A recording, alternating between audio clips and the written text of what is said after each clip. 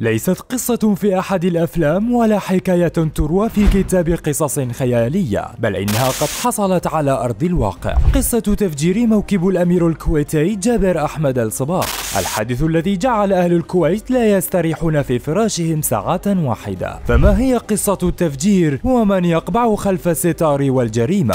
كلمات يرددها الأمير جابر الأحمد الصباح لن نخضع للتهديد ولن نخضع للابتزاز. كانت الساعة تشير إلى الرابعة والربع فجرا في الخامس والعشرين من مايو عام 1985 الموافق لشهر رمضان من تلك السنة. وفي الصباح الباكر كان موكب الأمير الشيخ جابر الصباح خارجا من قصر دسمان متجها نحو قصر السيف.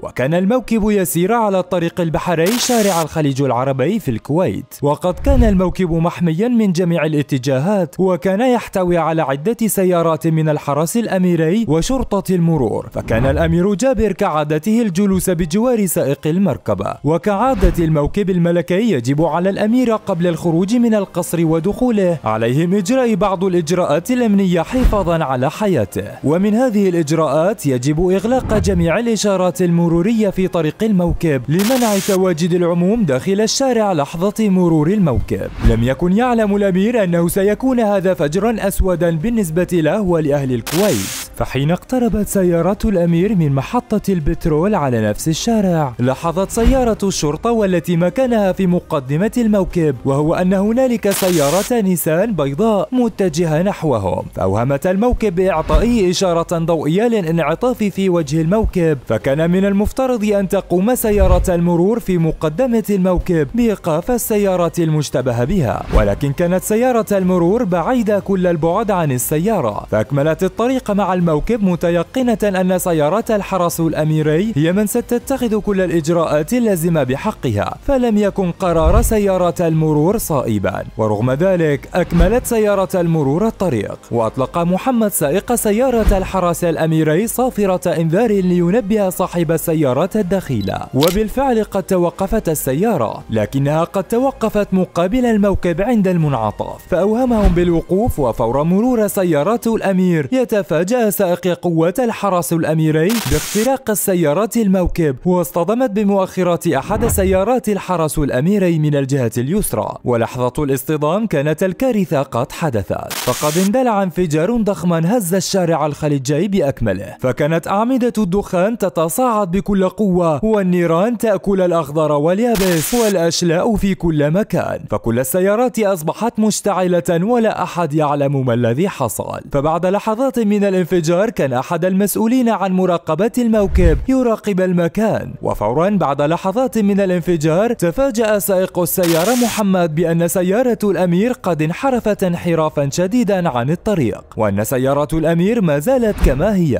ولكن نوافذ السيارة قد تحطمت بالكامل. فأسرع السائق متجها نحو سيارة الأمير ليطمئن على سلامته. فاتخذ اتصالا عاجلا وتواصل مع مجموعة من الحراس. فاتوا مسرعين نحو الحادث. الحدث وقاموا باتخاذ الإجراءات اللازمة. فأتت سيارة الإسعاف والدفاع المدني مسرعين نحو الحادث وقاموا بإخماد الحريق وانتشال الجثث من الطريق. فكان سمو الأمير حينها غائبا عن الوعي فنقلوه فورا إلى مستشفى الأمير. وبعد ساعات دخل العناية المركزة وكتب الله له عمرا جديدا. فبعد عدة ساعات من الحادثة انتشرت الأخبار بالصحف والجرائد والأخبار العالمية ناقلين الخبر. فعم الخبر أرجى الكويت ولم يهدأ لأهل الكويت بالا حتى خرج سمو الأمير على شاشات التلفاز ليطمئن شعبه بأنه أصبح بخير وأنه ما زال على قيد الحياة. بدأت المباحث بالبحث في تفاصيل الحادث فكان السؤال الأكثر انتشارا في الشارع الكويتي. هل كان حادث مدبرا له أم أنه حادث عادي؟ فبدأ الشعب يتساءل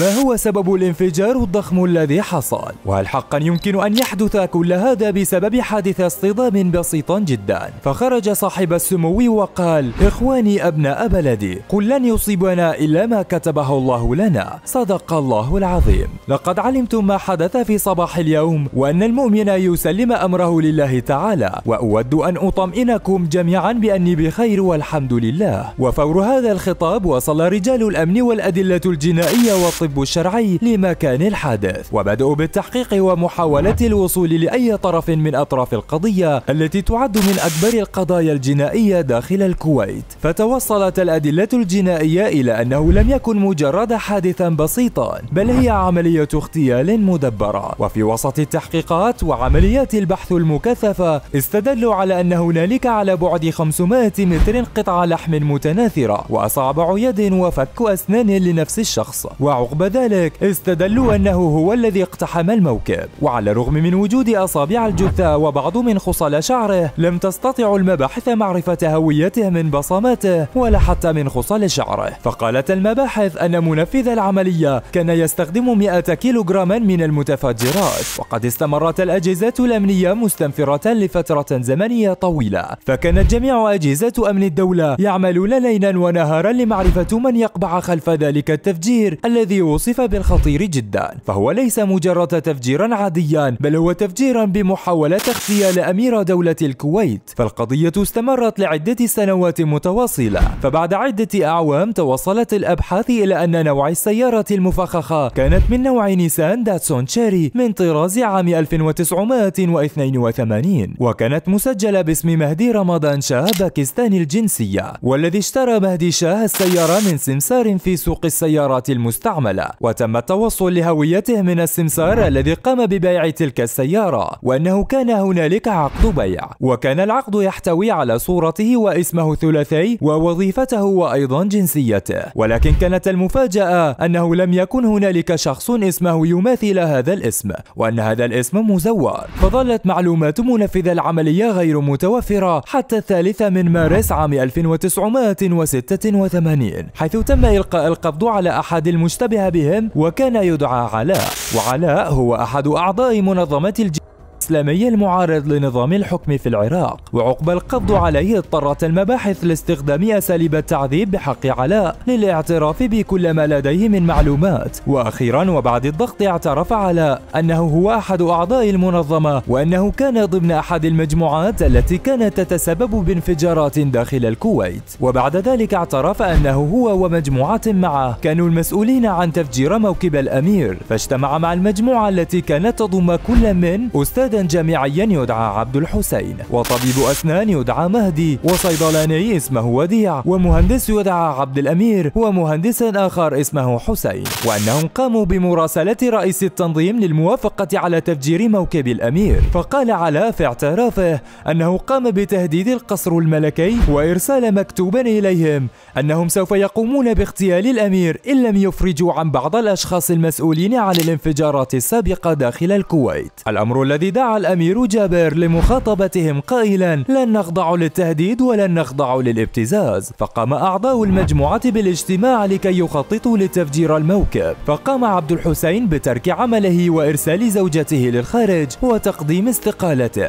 حتى يتفرغوا تماما لهذه المهمة وأنه هو الذي قام برسم الخطة وهندستها بالكامل. واعترف علاء قائلا أنه قام بشراء السيارة من سوق السيارات المستعملة. وحسب شهادة بائع السيارة قال أن علاء أتى وكان معه شخصا هنديا أو باكستانيا وأنه قام ببيع هذه السيارة باسم مهدي رمضان شاه. وأن علاء قال أنه يريد شراء السيارة لصديقه الذي كان يقف بجواره. وكان من الواضح أن صديقه لا يتكلم العربية فتم عقد البيع وأتممنا الصفقة. واعترف على أيضا فقال أن صديقه وديع هو الذي قام بتزوير الأوراق والهويات وتزوير مكان العمل لمهدي شاه وأن هذا الشخص غير موجود أصلا. وقال أنه تم الاتفاق على موعد العملية في تاريخ الخامس والعشرين من مارس عام 1985 الموافق للسادس من رمضان حيث قال اتفقنا على أن نعطي مهدي السيارة ويقوم بتنفيذ الخطة.